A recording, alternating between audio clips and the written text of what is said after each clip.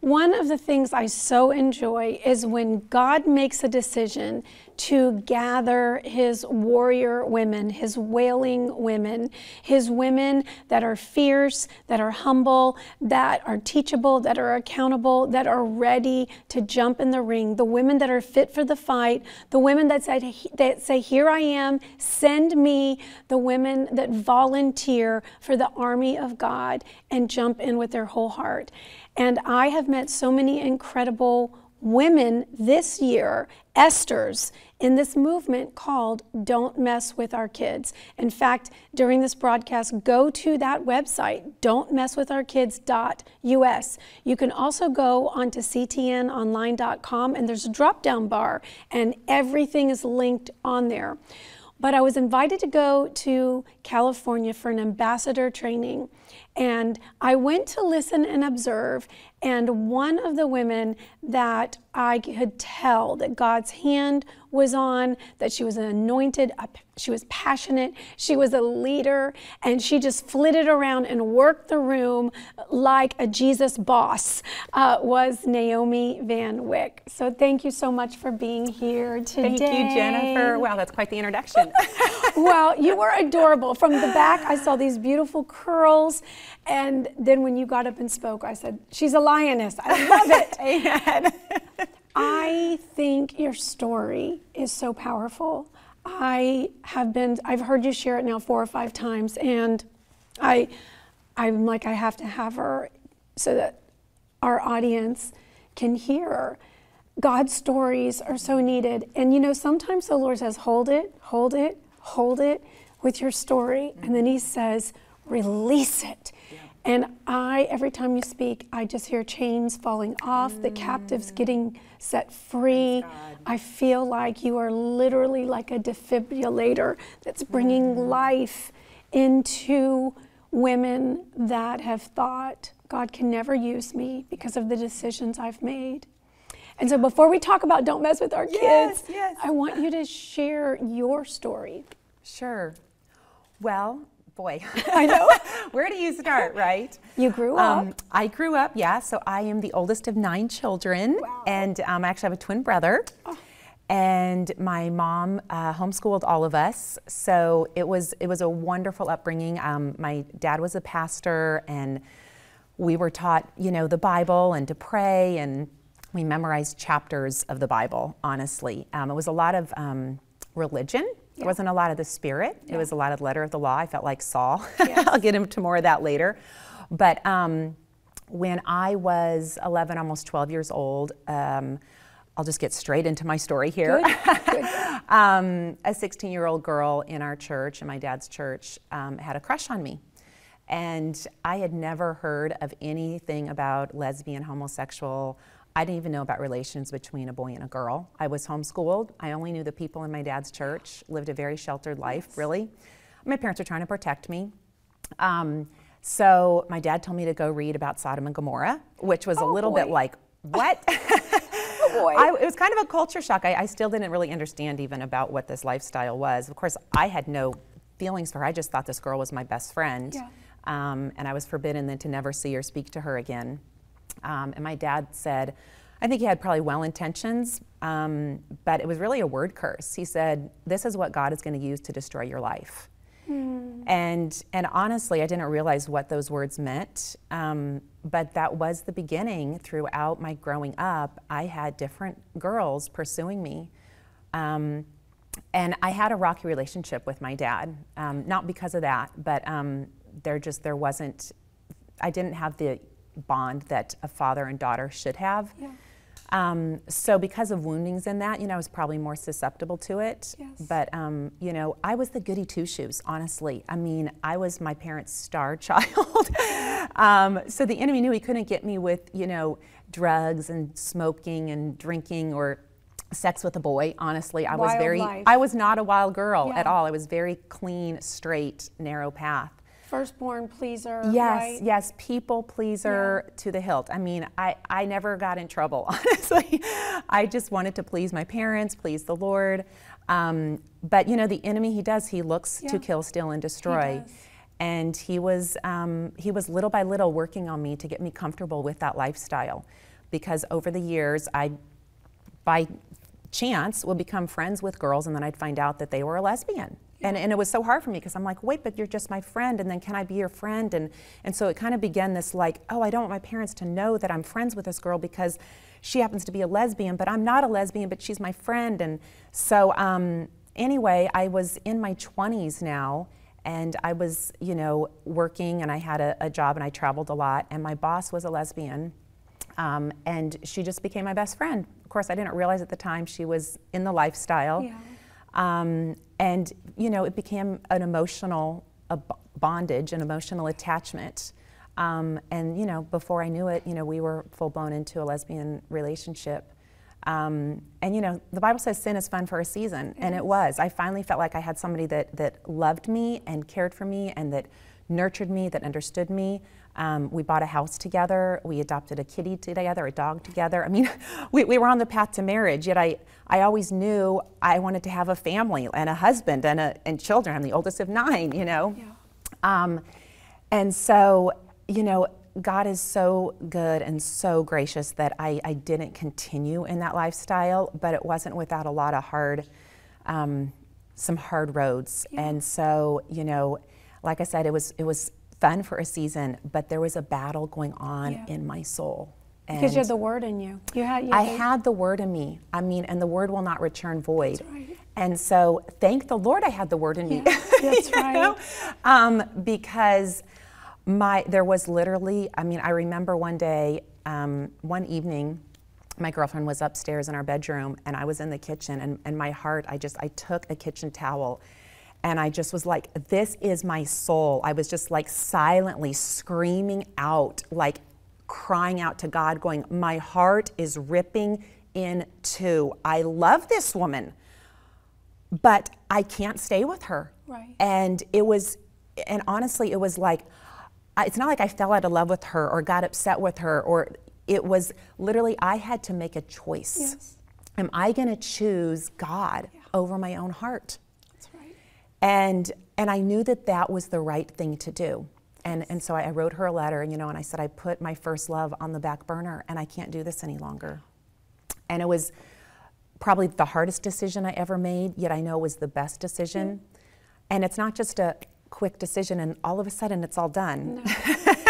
I mean, first off, your hearts are, are intertwined. You know, it's it's a soul tie that has to You're be right. broken.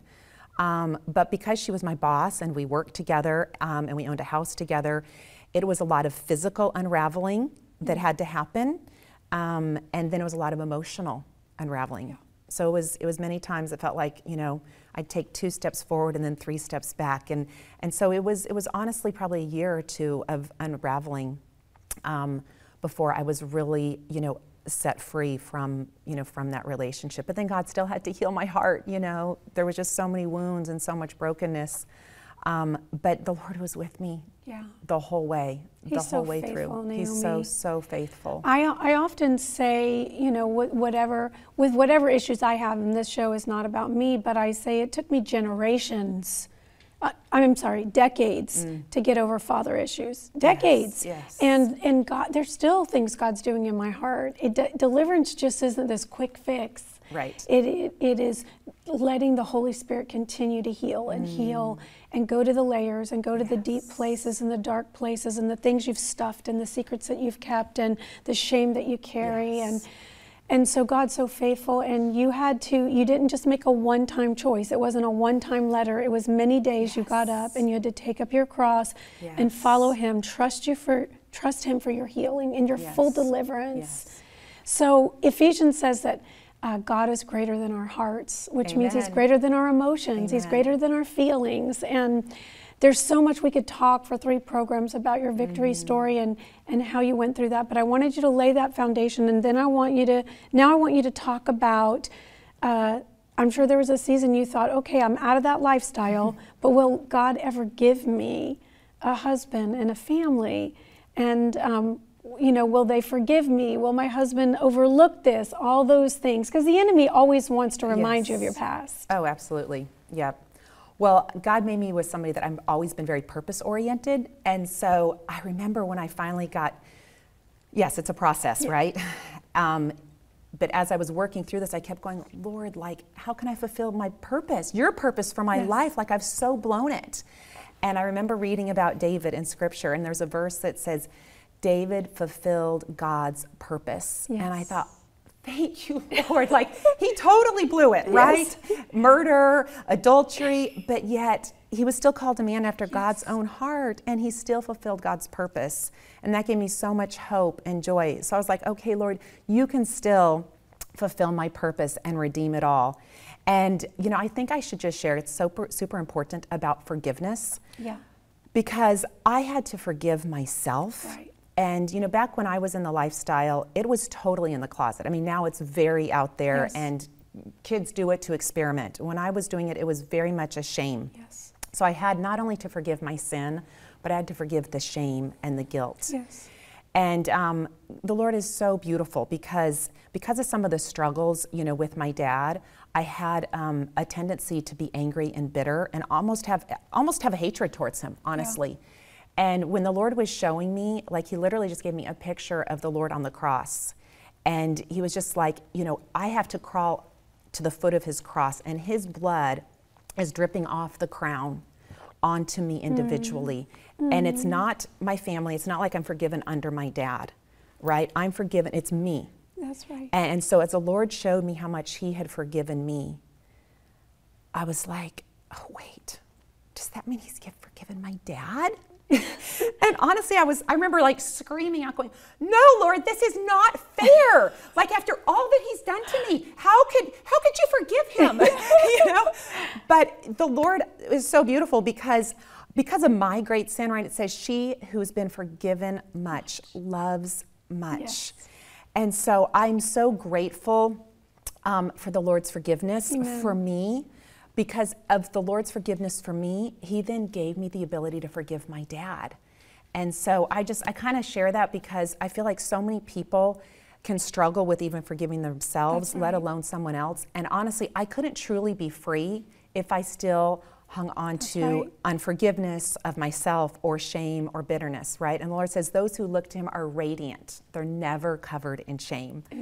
And so, um, that is probably the first step in me finding my purpose was I had to fully recognize who my identity was in Christ. And it says we are a new creation in him. The old is gone. And so I am just I'm just so so thankful that, you know, the Lord doesn't remember my sin any longer. He doesn't see me. Thank he does not see me as that person God. any longer. Right. Thank you Jesus. He has made me a whole brand new person and um, I'm so I'm so thankful. It was you know a lot of like, okay, is, is there going to be a guy that wants me? Yeah. you know, how are they going to look at me, and are they going to question and judge and um, and so yeah, I, I I went through some guys that you know I tell them the story, and I would never hear from them again. they would disappear, and I think. Oh no! But then I'd be like, they're not the right one. They're then. not the right They're not the one. right one. That's they right. they don't understand forgiveness. They don't understand what it means to be That's a right. new creation in Christ. Um, so, you know, some people go, wow, it took you a long time to get married. I was almost 37 before I got married. Um, but the Lord knew I had a lot of healing to do. I didn't, right. it was, that was about 10 years later from when I got set free from lesbian lifestyle. So I needed 10 years to get healed and, and set free. Um, and he's a jealous God. He probably just wanted you all to yes, himself. yes, he, he wanted me to himself, and, and I needed that. I needed that. And I realized, you know what, even if I didn't get married, like I just wanted to fulfill God's purpose That's for my life.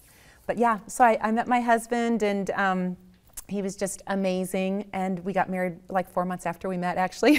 That's awesome. so yeah. And he's blessed you with. And then he's blessed us with two miracle daughters, Esther and Ruth Anna, who are just the pride and joy of my life. So, yes, I, I'm just so amazed. God is a God of redemption. He and. You know, what the enemy intends for evil, God will use for good. That's right. And so the enemy tried to keep me from getting married to a man. He tried to keep me from ever bearing children. I had struggles with infertility for years.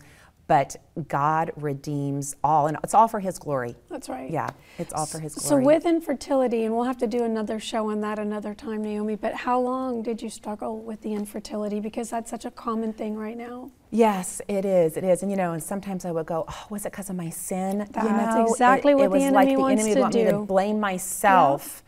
Um, but you know, I had had you know just hormonal issues, and probably a lot of it actually doing a lot of research, you know, just stem from trauma I dealt with as a child.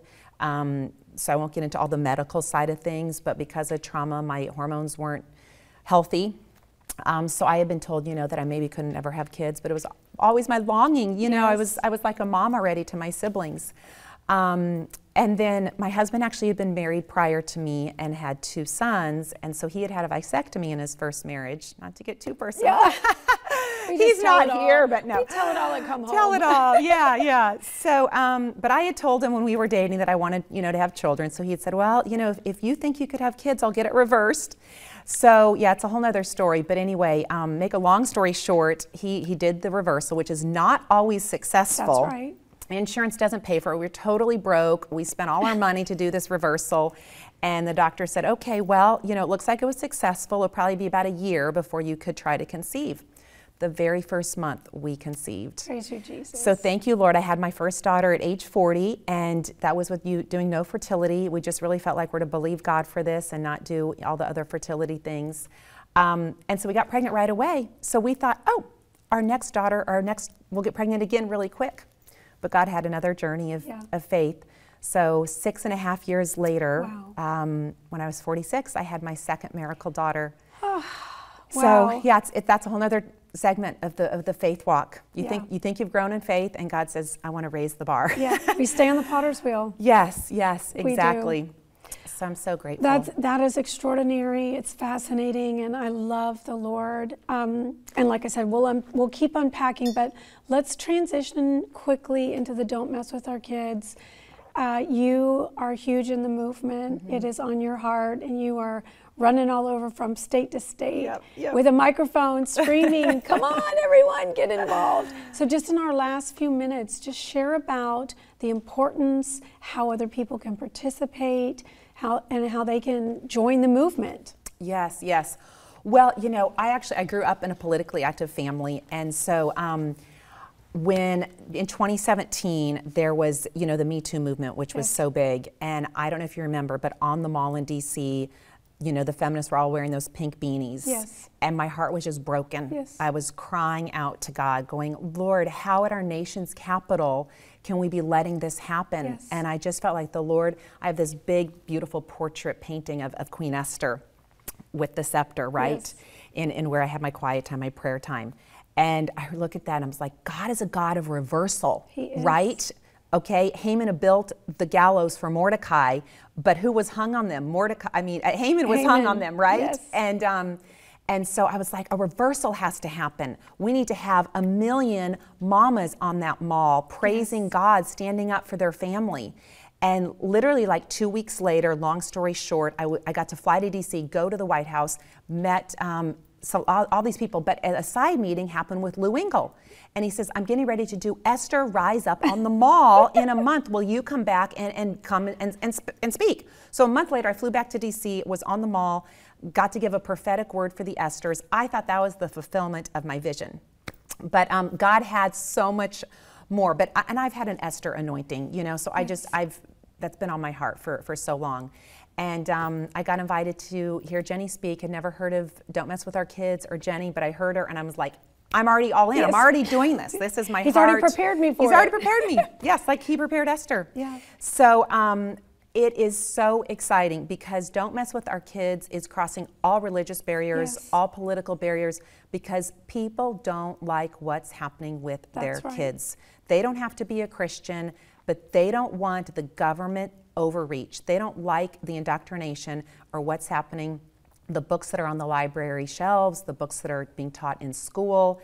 They are fed up and they are saying enough is, enough. enough. And we are saying enough is enough. Yes. You cannot have our kids. Right. Right? They belong first to God and we are entrusted to care for them. Yes. So we are raising up, we're calling, you know, the Esthers and the Mordecais, the mama bears to take a stand. And let me tell you, nobody messes with a mama bear, That's right. I Yes. mean, and her cubs. That's right. So, um, we I'll tell you a little side story. We live part-time in Coeur d'Alene, Idaho, and we have a moose family that is in our yard. And I'm telling you, that moose and her twin babies, same thing. Nobody gets in between that mama moose and, those, her and their babies. babies. That's right. And so we believe in we need to be praying and Amen. fasting, and then we need to take a public stand in the square. And so on on April 13th, 13th, yes. yes, at all 50 state capitals, it's historic. We are having an event on the same day at all 50 state capitals and Washington, D.C. to pray, to repent, to take communion, and to say, enough is enough. We're going to say it's like the second declaration, and we're going to declare the right to our families and to our children, to their medical rights, to their gender, to their you know education and say the government can't have them any longer. So i'm super excited about it. God is just raising up thousands and thousands of, of families. It's not just the moms. We're teaching the kids how to pray and how to fast and um, how to build an altar in our home. So the cool thing is april 13th is exactly six months to the day before the day of atonement which is october 12th the most holy day on the calendar Yes. in the, in the Jewish calendar. And that's the day we're believing for a million voices to be on the mall in Washington, D.C. to do this same thing. And um, when, when people pray and fast, we see God move. Amen. And so, just like Esther, she called for them to pray and to fast. she and did. she took a stand. And She look did. at what God did. God did it. God and He's going to do it again. Naomi, He's going to do it. Listen, I want to keep talking. That's the hardest thing about having powerful people on the program. But I encourage you go to don'tmesswithourkids.us, go to ctnonline.com, the drop down bars in there, sign up for your state capitol, grab your friends, grab your husband, grab your family, go to the state capitol. We're going to pray for two hours. We're going to see God move. And then also take note of October 12th. It's coming quickly behind. And we are going to go to Washington and we are going to celebrate victory. God is on our side, but He needs us to show up. He needs us to stand up and He needs us to speak up. Thank you for watching today. Uh, listen, Naomi has much more to say, and she's working on a book. Uh, she has a website coming out that's phenomenal. Pray for her, pray for her family, pray that God will continue to use her voice.